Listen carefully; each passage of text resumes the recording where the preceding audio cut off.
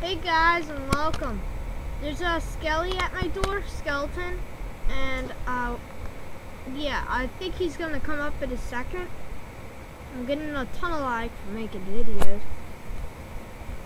but oh my head hurts. Um, He's yeah, such a creeper. Oh my god. he's like a creeper, but he's just sitting there.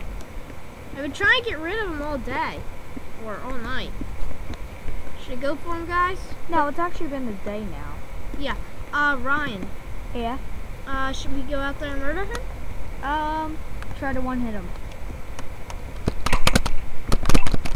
Got him. Was that a one hit? Yep. Looks like it.